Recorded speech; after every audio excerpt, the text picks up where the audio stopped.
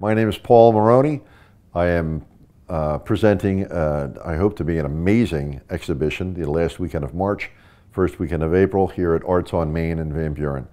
Uh, please check out the website and uh, come and visit us. We are displaying some amazing museum quality uh, works of art from uh, Jackson Pollock pieces to Klein to Salvador Dali, all displayed for the NFTs that we will be providing on our NFT marketplace of these original works.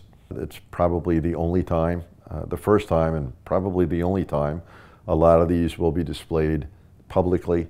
Uh, they are mostly from private collections.